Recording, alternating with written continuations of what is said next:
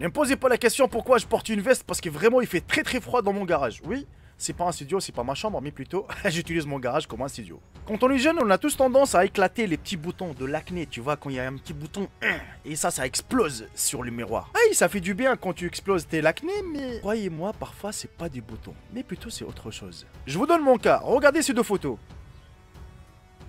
J'ai failli payer cher, on est bien d'accord. Mais ça, je vous en parle à la fin de la vidéo. Justement, la famille, c'est ce qui s'est passé avec cette américaine âgée de 39 ans. Elle croyait que c'était un bouton normal, elle voulait exploser, mais après, quand elle est partie voir le dermatologue, il l'a rassuré. Il lui a dit Oh, t'inquiète pas, rien du tout. Mais 18 mois plus tard, c'est avéré que c'était quelque chose de plus dangereux que ça. Voilà la famille, j'espère que la vidéo vous plaira. Si c'est le cas, n'hésitez surtout pas de la partager au maximum et de mettre votre plus gros pouce bleu. Sur ce, bon visionnage aussi à toutes.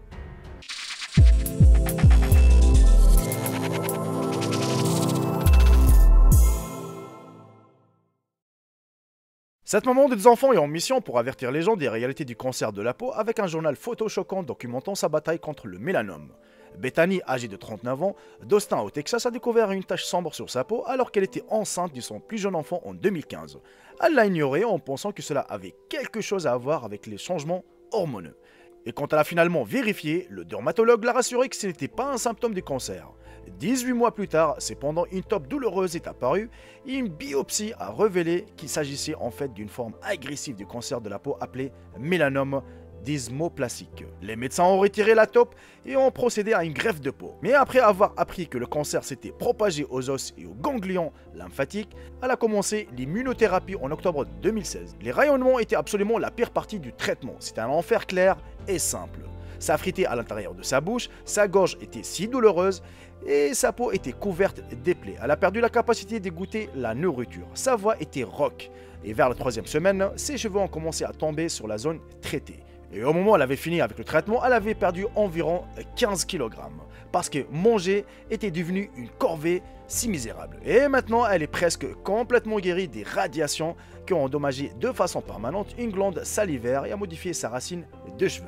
Bethany a déclaré qu'elle n'était pas surprise par le diagnostic parce que sa mère avait également un mélanome au même âge. Et même si elle a terminé son traitement et est maintenant en clair, elle encourage d'autres personnes à porter un écran solaire afin qu'elle n'aille pas de vivre la même expérience horrible qu'elle. Malheureusement pour Bethany, sa route vers la guérison n'est pas encore terminée, mais son sens de l'humour et sa ténacité ont contribué à la réussite de sa bataille. Elle a eu le courage de partager son processus de guérison sur internet, car bien sûr, le cancer est la chose la moins drôle au monde. Mais Bethany parvient à en tirer le meilleur parti, à rire en cours de route et à inviter les autres à entrer. Après avoir émergé de son opération, Bethany a révélé le bandage des compressions jaunes dramatiques qu'elle doit porter pour protéger la zone de guérison, plaisantant sur le fait qu'elle ressemblait au personnage de Bob l'éponge. Et dans le cadre de son rétablissement, Bethany subit des traitements au laser pour aider à éliminer toutes les cellules cancéreuses restantes. Les effets secondaires ne sont pas exactement glamour. À ce jour, Bethany a subi deux interventions chirurgicales pour éliminer les cancers, et elle espère le garder ainsi. Si son médecin confirme que l'élimination des cellules cancéreuses est terminée, Bethany peut commencer à planifier une procédure cosmétique pour aider à ramener son visage aussi près que possible de la normale. Un petit conseil de famille, prenez vraiment soin de vous. La santé, on n'en a qu'une. Et le corps, on n'en a qu'un seul. Donc vraiment, il faut prendre soin de la famille. Oui, l'acné, c'est vrai, de l'acné euh, quand, on, est adolescent, quand on est jeune, ça, ça c'est tout le monde qui a essayé d'éclater le bouton, ainsi de suite. Il n'y a pas de souci. Mais si vous avez des doutes, il faut vraiment consulter un dermatologue. Moi, par exemple, le bouton que, je vous ai montré au début de la vidéo, je ne sais pas s'il y a encore une trace. Il n'y en a plus. J'étais con. J'étais con parce que, en fait, elle a commencé à pousser petit à petit. Je croyais que c'était un virus normal, tu vois. Et puis, bah, je suis parti voir le dermatologue. Il m'a donné des, produits. Vous avez vu la trace noire à l'époque, même si vous revenez en 2018, euh, début 2019, vous allez voir dans mes, dans mes vidéos, vous allez voir un petit bouton ici. Oui, il y avait avec une trace noire sur certaines vidéos. tout simplement parce que ça brûlait ma peau.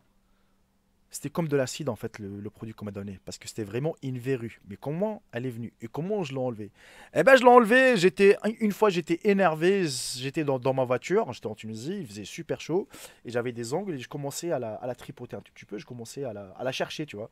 Bref, j'avais des ongles. J'ai pressé mes ongles et je l'ai arraché de ses racines. Ça pissait le sang.